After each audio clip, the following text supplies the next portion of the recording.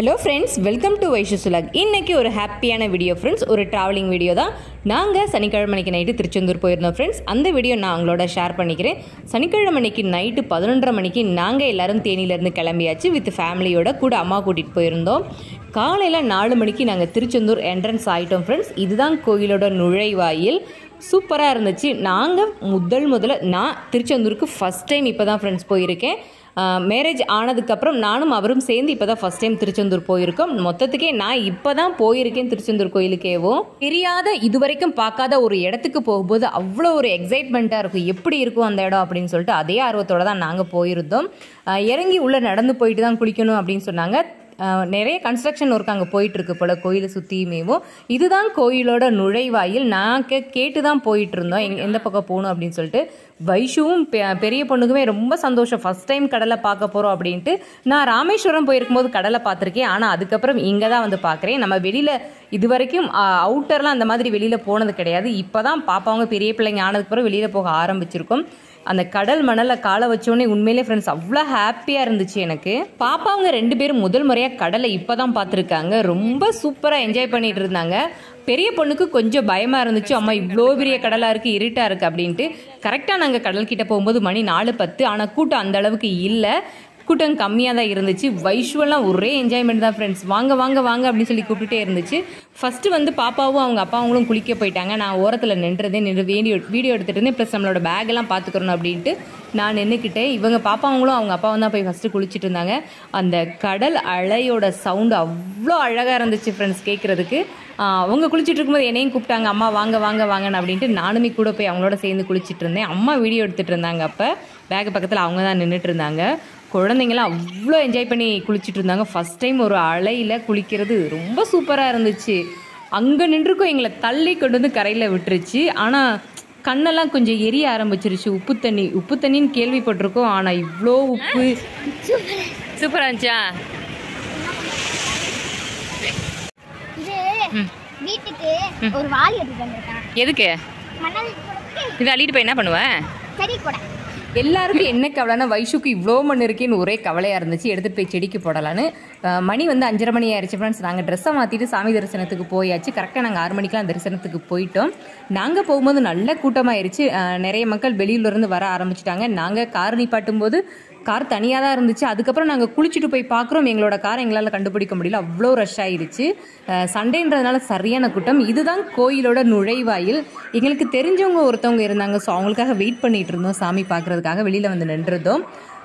விடிஞ்சதுக்கப்புறம் கடலை பார்க்கவுமே இன்னும் ஹாப்பியாயிருச்சு ஐயோ இவ்வளோ பெரிய கடலாம் கண்ணு கெட்டுற தூரம் வரைக்கும் வெறும் தண்ணியாக இருந்துச்சு.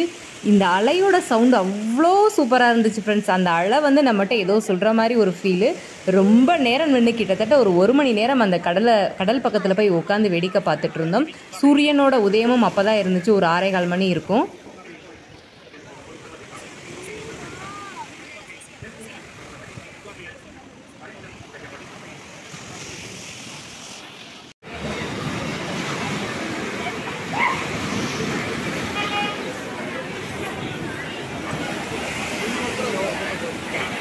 வைஷுவுக்கு மறுபடியும் வெளிச்சம் வந்துருச்சு நம்ம இன்னொரு இடம் போய் குளிக்கலாம் அப்படின்னு சொல்லி அது ஒரே வம்பு பண்ணிட்டு இருந்துச்சு. கோயிலுக்கு போய் சாமி தரிசனம் பண்ணதுக்கப்புறம் குளிக்கக்கூடாது பாப்பான்னு சொல்லி புரிய வச்சு கூட்டிகிட்டு போயிட்டு இருந்தோம் ஃப்ரெண்ட்ஸ் ரொம்ப க்ரௌட் ஆயிடுச்சு.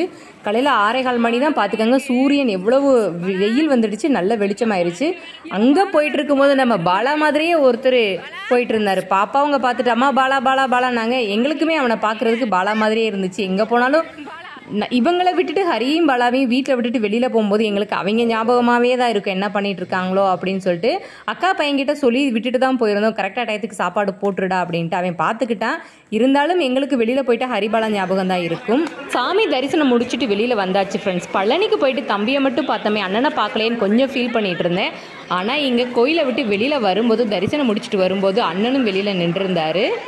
தான் வர்ற எல்லாருக்குமே ஆசீர்வாதம் பண்ணிட்டு இருந்தாரு. நாங்களும் போய் ஒரு ஆசீர்வாதத்தை வாங்கிட்டு அப்படியே வந்தாச்சு ஃப்ரெண்ட்ஸ் வெளியில கொஞ்ச தூரம் நடந்து வந்துட்டு இருந்து ஒரு மயில் நின்றுருந்துச்சு. ரொம்ப அழகா இருந்துச்சு மயில். இவ்வளோ க்ரௌடாக பார்த்துட்டுமே அந்த மயில் அந்த பக்கம் போகல ஃப்ரெண்ட்ஸ் ரொம்ப ரிலாக்ஸாக அது பாட்டுக்கு அது வேலையை பார்த்துட்டு இருந்துச்சு. நம்மளுக்கு பார்க்க ரொம்ப அழகாகவே இருந்துச்சு. கோயிலை விட்டு வெளியில வந்த பிறகும் ரெண்டு சைடுமே கடைகள் நிறைய இருந்துச்சு. பூஜை ஜாமான பொம்மை மாலை அந்த மாதிரி எல்லாம். நம்ம இப்போ தான் பழனியில் போயிட்டு ரெண்டு பிள்ளை வாங்கினோம். ஸோ பொம்மையெல்லாம் எதுவும் கிடையாதுன்னு சொல்லியாச்சு. பாப்பாவங்களும் ஒன்றும் பெருசாக கேட்டுக்கிறல அப்படியே வேடிக்கை பார்த்துட்டு நடந்து வந்தாங்க.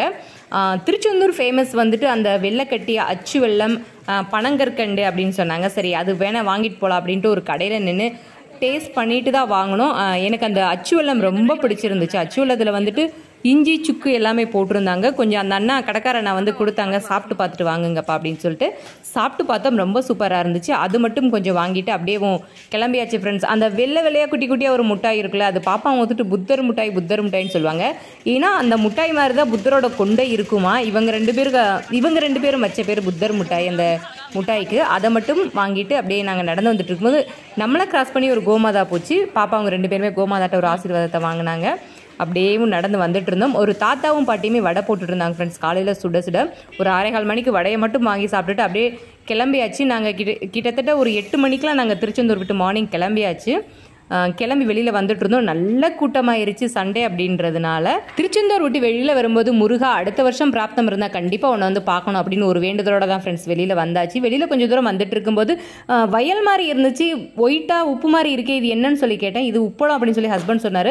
ஃபஸ்ட் டைம் லைஃப்பில் உப்பளத்தை இப்போ தான் கண்ணில் நேராக பார்க்குறோம் ஃப்ரெண்ட்ஸ் ரொம்ப சூப்பராகவே இருந்துச்சு. கொஞ்சம் ஸ்லோ பண்ணுங்க அப்படின்னு சொல்லிட்டு அப்படியே கொஞ்சம் ஸ்லோ பண்ணாங்க. அதை அப்படியே பார்த்துக்கிட்டே கிளம்பியாச்சு ஃப்ரெண்ட்ஸ் நாங்கள் நேராக மதுரைக்கு போயிட்டு டிமார்ட்டில் கொஞ்சம் பர்ச்சேஸ் பண்ணணும் அப்படின்னு சொல்லிட்டு தான் காலையில் சீக்கிரமாகவே கிளம்பியாச்சு ஃப்ரெண்ட்ஸ் நாங்கள் டிமார்ட்டில் போய் என்ன பர்ச்சேஸ் பண்ணோம் என்ன திங்ஸ் வாங்கணும் அப்படிங்கிறத அடுத்த வீடியோவில் நான் அப்லோட் பண்ணுறேன் ஃப்ரெண்ட்ஸ் இந்த வீடியோ உங்களுக்கு பிடிச்சிருந்தா மறக்காமல் ஒரு லைக் கொடுத்துட்டு நம்ம சேனலை சப்ஸ்கிரைப் பண்ணுங்கள் சப்போர்ட் பண்ணுங்கள் தேங்க்ஸ் ஃபார் வாட்சிங் ஃப்ரெண்ட்ஸ் தேங்க்யூ